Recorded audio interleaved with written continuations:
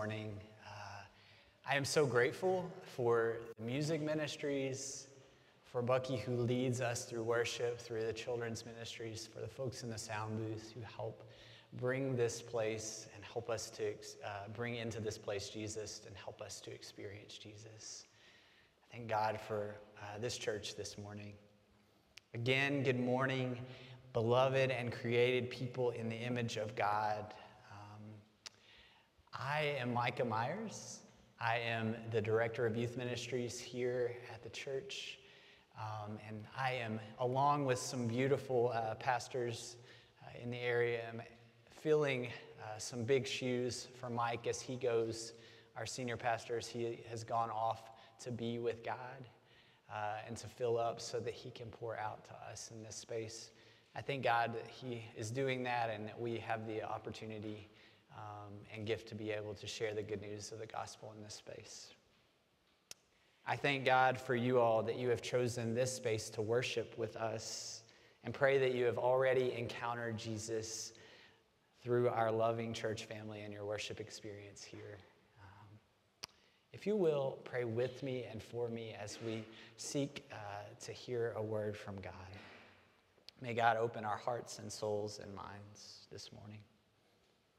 Gracious and loving uh, God, we are here and you are here. May we encounter your deep love for us this morning through the hearing of your word. And may we experience grace upon grace. May these words be your words and not mine. May there be a whole lot more of you and a whole lot less of me.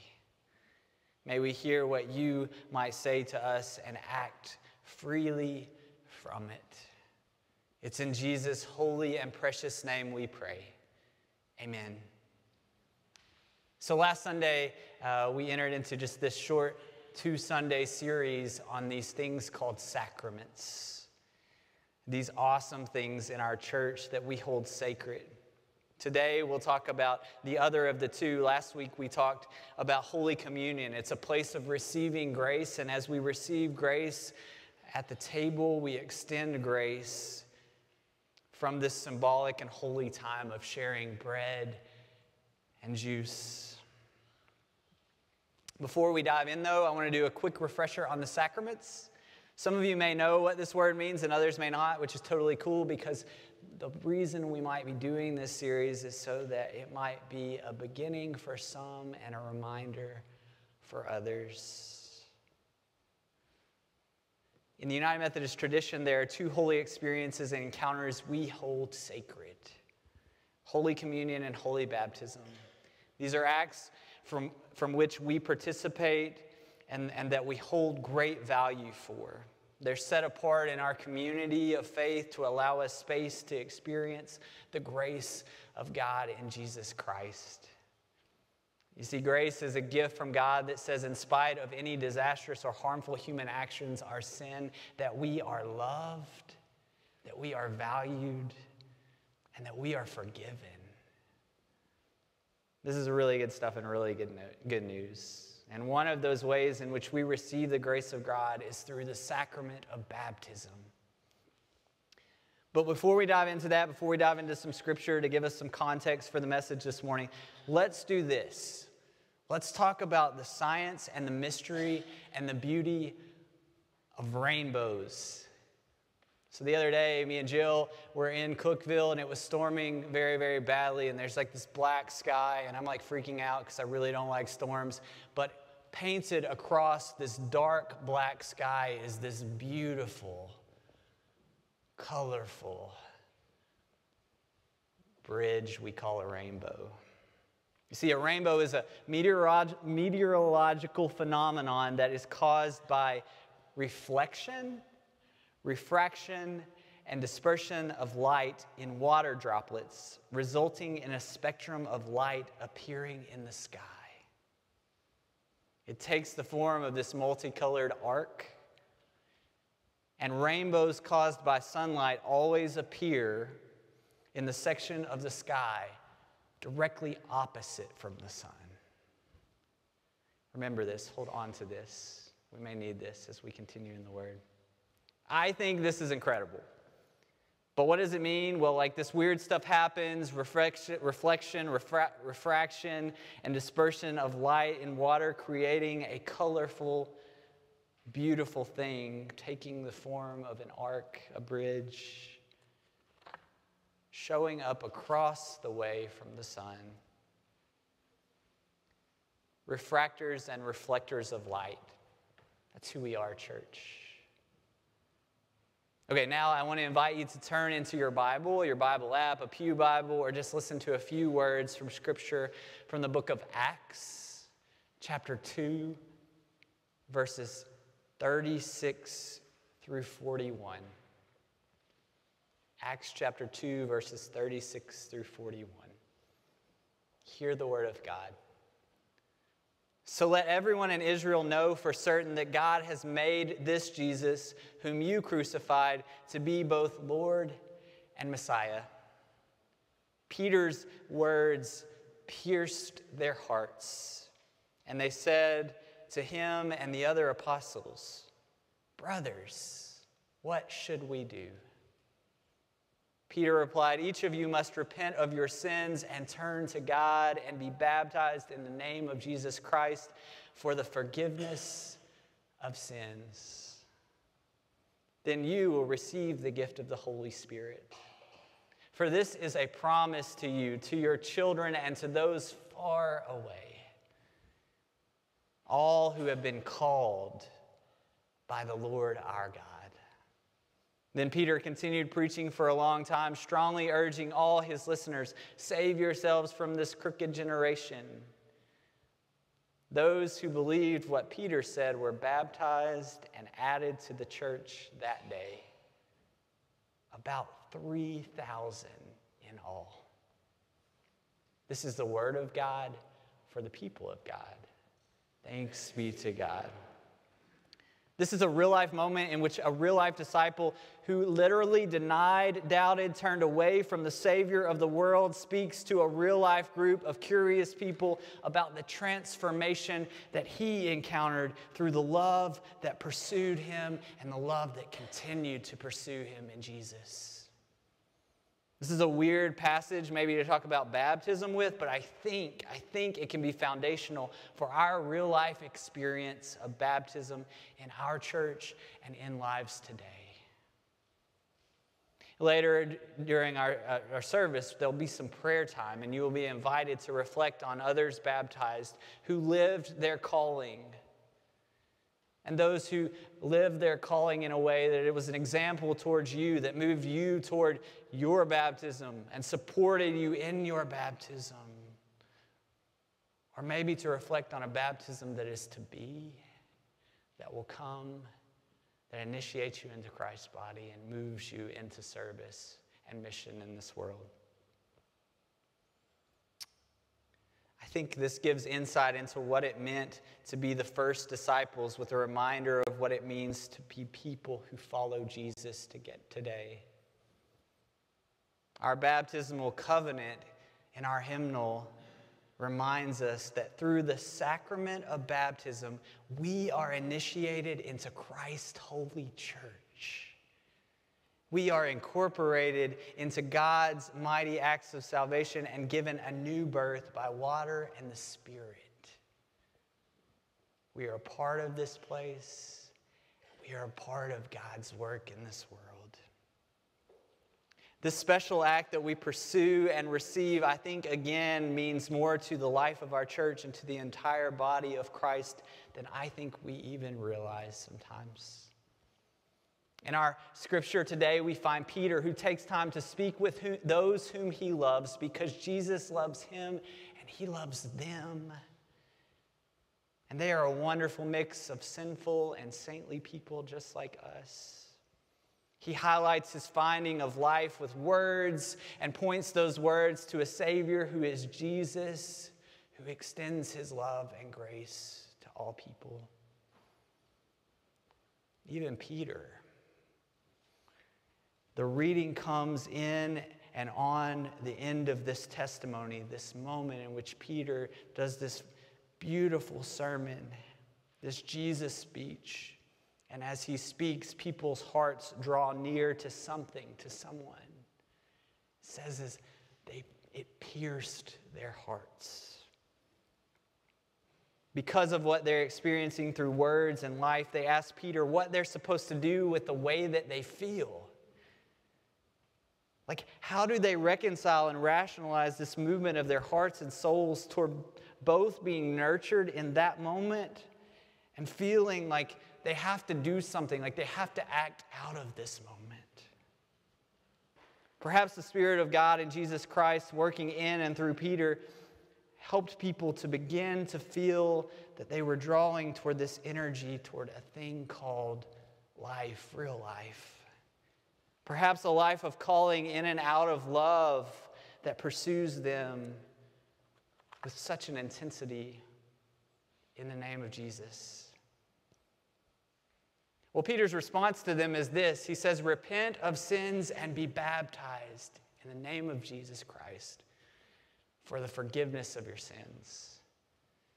So, this is weird. Uh, initially, sort of this repentance thing, it sounds a little judgmental, it sounds a little harsh, a little crazy. It's sort of balanced out with this forgiveness of sins thing, which is beautiful.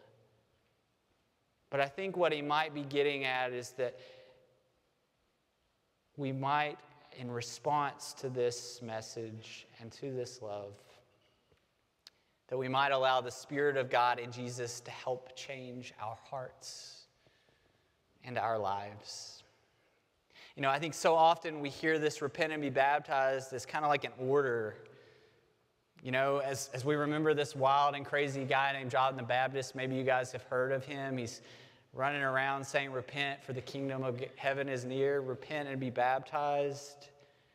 We sometimes hear that proclamation from John and this proclamation from Peter that it is up to us to complete and do perfectly, when really the task is to be a part of and jump on board with what God is doing. For what happens is that God perfects us in and through God's great love for us. We remember the words of our baptismal covenant. All this is God's gift offered to us without any price. We say that, y'all. We live that, y'all. This is not a performance based model, but a model in which offering your life is the work of beginning in baptism and continuing in God's saving and redeeming work in our churches and to the people in our community and our world. Peter speaks to those already in repentance and those who will repent and turn toward God in word and deed. He speaks to the community already formed and the community that will continue to form as the kingdom of heaven advances and more people come to know this good, good, good news. The good news of grace given, the forgiveness of sins, the conquering of death, and the life in and through the resurrection of Jesus. A refracting and a reflecting of light. This life and light refracted, taken in, and changing directions is reflected to others in a myriad of colorful and amazing ways through a gift of the Spirit, providing us gifts to be used in and for the kingdom. A story from a recent arts day camp here at the church put on by the children's ministry highlights this as children sat in this very sanctuary discussing life refracted and reflected through our beautiful stained glass windows. You see, children came in here for this arts camp to be inspired. And what inspired them were the windows and the color and the light reflected through them. And as they left this place to go and do the work of their art, to do paintings and drawings, they brought these same colors into their artwork.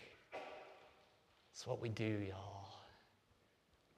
In this space, light is refracted. We take in, we soak up, and we take it with us wherever we go.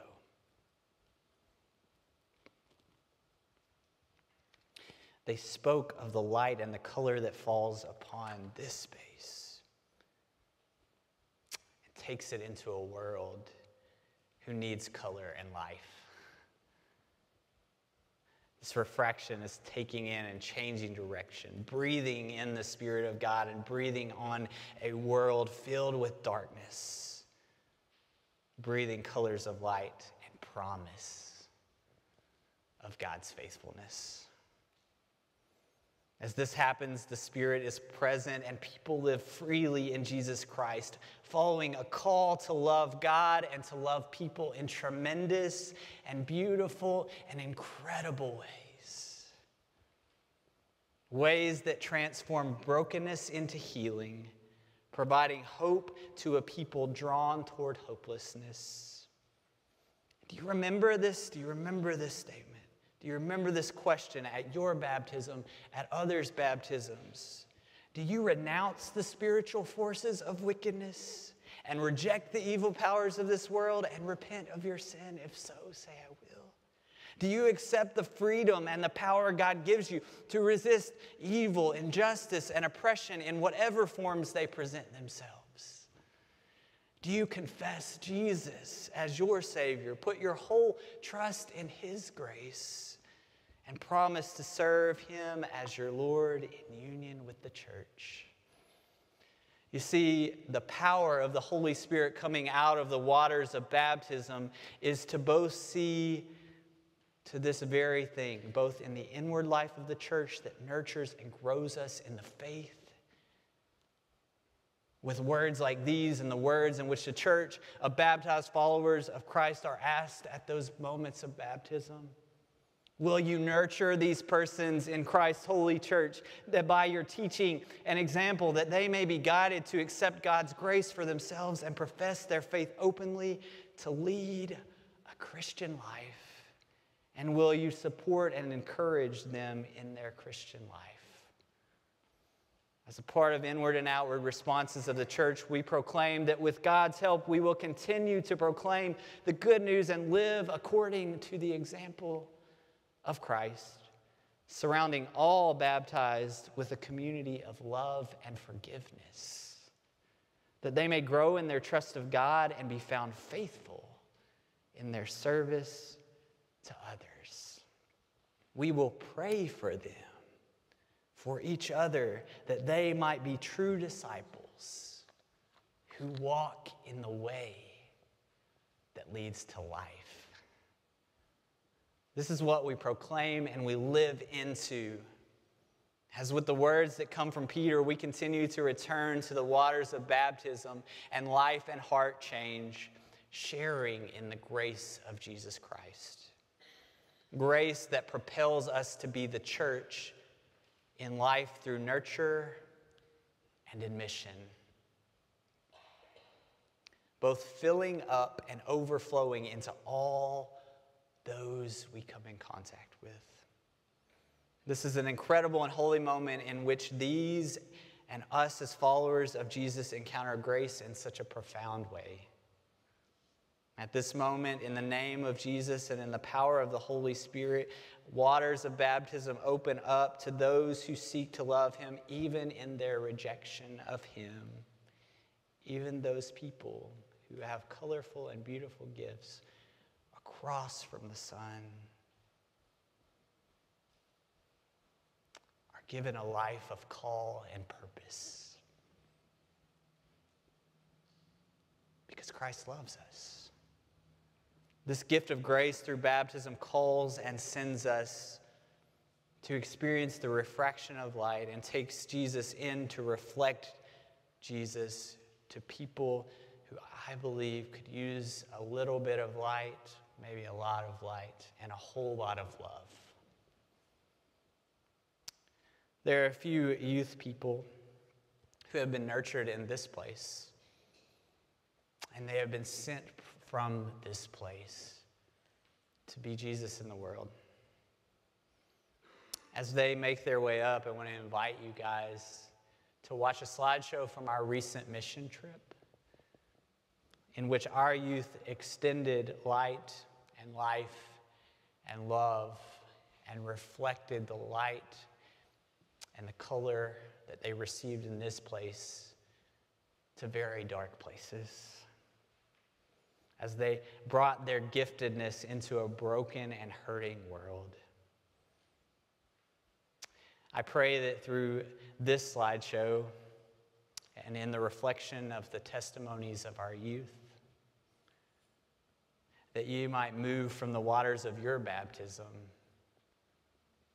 to experience the refraction and to be a part of the reflection of Jesus in this world.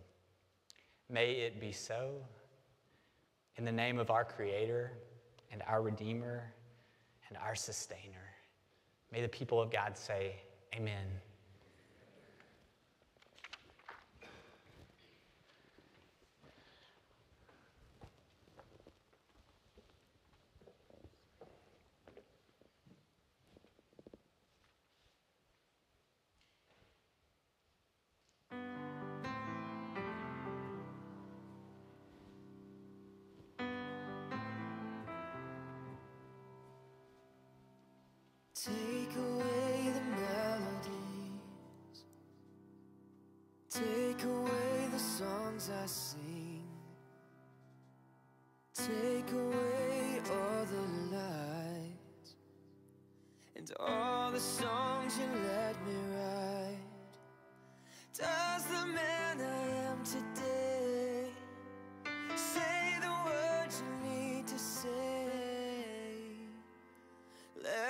See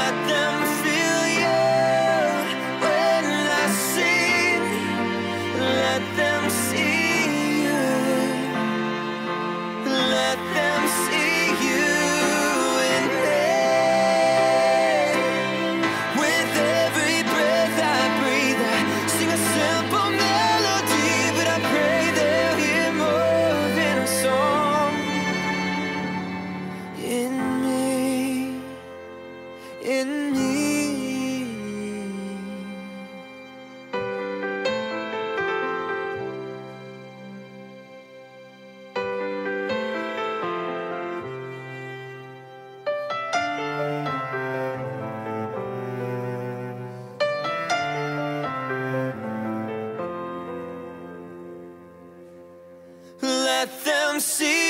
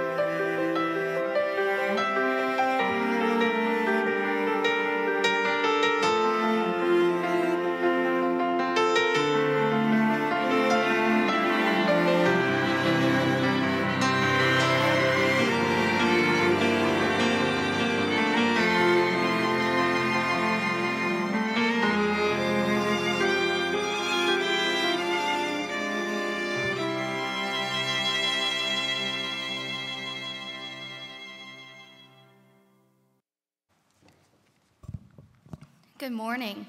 My name is Grace Durham, and I'm here this morning to tell you a little bit about what we did on the youth mission trip this summer. About two weeks ago, the youth from Westland UMC and First UMC joined together to take on some mission work locally in downtown Nashville. Each day of work presented us with a new ministry opportunity. We participated as volunteers for Project Transformation, worked in a warehouse with an organization called the Bridge Ministry, preparing 350 peanut butter and jelly sandwiches. We sorted and moved 500 boxes under a specific bridge in Nashville where the homeless and low income families can receive a hot meal, partake in a worship service, and go through a line to take needed groceries to help them throughout the week. When Wednesday rolled around, we had to split up into groups due to each ministry needing a certain amount of people. So the morning group went to a site called the Nashville Rescue Mission, which is a home for homeless women and children. We put on all our lunch lady gear, which included gloves, aprons, and yes, even the hairnets. And we're blessed with the opportunity to serve lunch to the women and children currently staying there. Later that day, the afternoon group went to clean up trash and play kickball and some other games with some kids at a daycare center.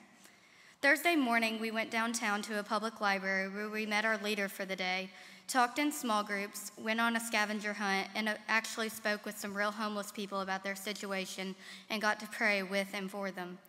We also played some survival games and went to a small museum full of pictures with a story behind each of the pictures. Later, we split up into groups again, and some went to help with laundry and some other projects for the Open Table Foundation, while others went to help clean up a homeless camp that the government is forcing to move. Our final day in the mission trip, we went to a place called McKendree Village, a retirement community, where we got to play bingo, walk around the park, and get to know a lot of the people in the nursing home. I'd honestly have to say that was one of my favorite days. And I promise, no matter how old you are, you can dance. Overall, this mission trip experience was absolutely amazing, and I know I can speak for everyone that went when I say it was truly a trip we will never forget. Two churches with two youth groups came together as one to learn, to grow, to share, to love, and to let others feel welcomed. And welcomed was our mission trip theme this year. The bonds and friendships that were built through this trip are ones that will last forever. We went and we served as the hands and feet of the Lord. Our prayer is that we made an impact on just one life by showing our love to others so that they may see the love of Jesus through us. I want to close by sharing something that basically summed up our whole week. Thursday, Thursday night was our night out in Nashville. We ate at the spaghetti factory, took lots of pictures, and just had a good conversations with some with each other. Two boys from our mission group had some leftover bread that they had planned on taking back to the church to snack on. But on our way back to the cars, there was a few homeless people sitting around, and the two boys gave their bread away to others who needed it way more than we did. A small thing to us could mean something so big in someone else's life. This doesn't have to be done on a mission trip either, but it could be done anywhere at any time. Give someone your leftovers or an extra blanket you don't use. And if you don't have anything to give, just smile. I promise you, the smallest things make the biggest difference. Thank you. Hi, um, my name is Michaela Sutton, and I also went on the mission trip to Nashville. I have to admit, at first, when we first heard about where we would be going, we were all a little bit skeptical of it because, I mean, for most of the mission trips that I've been on, you, we go places that are out of state and a little bit further away. So when I found out we were going to Nashville, I was pretty skeptical of it, but you know, I decided to trust God and we're going to go anyway because mission work is mission work no matter where you go. Um, and my so Grace told you a lot about what we did on the specific days, and I would like to share with you just a personal experience of mine, um, just one of my favorite God moments that I experienced on this trip. Uh, it happened on Thursday, and Thursday was the day where we we walked around in the morning and we got to interact with some homeless people actually on the streets and talk to them and pray with them. And then that afternoon, we went to a homeless campsite to help clean that help clean up. And that morning, there was we were on the streets with these people and we were talking to them, and there was a slight altercation because there were these people who were trying to mow the lawn. And there were people sleeping on the lawn because they didn't have anywhere else to sleep. And they were not happy about it, so they made them all move. And there was one man who was he was walking around and he was really upset. He was like yelling and he was talking about how he didn't want to hear anything about your church and he didn't want you to tell him about a God. He wanted you to give him real life solutions. And that was just really heartbreaking to me, you know, because for someone to be in such a place where they don't even want to hear about God, you know, it's just, it was really heartbreaking for me. And I found myself praying for this man later that night. And it made me think of a song that had been stuck in my head for most of the week. Um, it's called Do Something, it's by Matthew West. And basically, he's saying how he's like shaking his fist at God and he's saying, you know, why aren't you doing something about all of these people who, who need your help? Like, what, where are you in these situations? Why aren't you doing anything? And God's like, I did do something. I created you. And, you know, we can do things. We can't always expect other people to do them. Praying for people and working with people and just getting to experience what people are going through and to impact their lives is just the most amazing experience. Just to be able to help people through some of their situations. And we can't fix everything, obviously, but a little bit is, is so helpful in some of these situations. And we created bonds with some foundations in Nashville that we can go back to. It's just Nashville, it's right in our own backyard. It's just amazing to see how we can impact some of these people's lives just by spending a day with them and just talking to them and praying with them. And it's just the, mo- the most amazing experience. And this mission trip is definitely one of my favorites out of the ones that I've been on. And I would definitely recommend going back and visiting some of the foundations that we worked with because anyone can do it, you know? It's we're in Lebanon, it's right next to Nashville. And it was just, it was an amazing experience. And I really hope, we do project transformation stuff with this church, which is one of the programs we worked with on the mission trip. And just, just go out and reading with the kids is an amazing way to connect with people. And it was just the most amazing experience. Thank you. We thank you, church, for you are the church who has nurtured these youth in being able to be missionaries in this world. So we are grateful for all of your prayers and the ways that you have supported them. So they have been able to experience refraction and reflection of light.